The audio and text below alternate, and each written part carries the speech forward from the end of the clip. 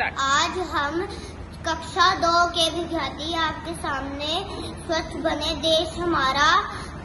कविता प्रस्तुत करने जा रहे हैं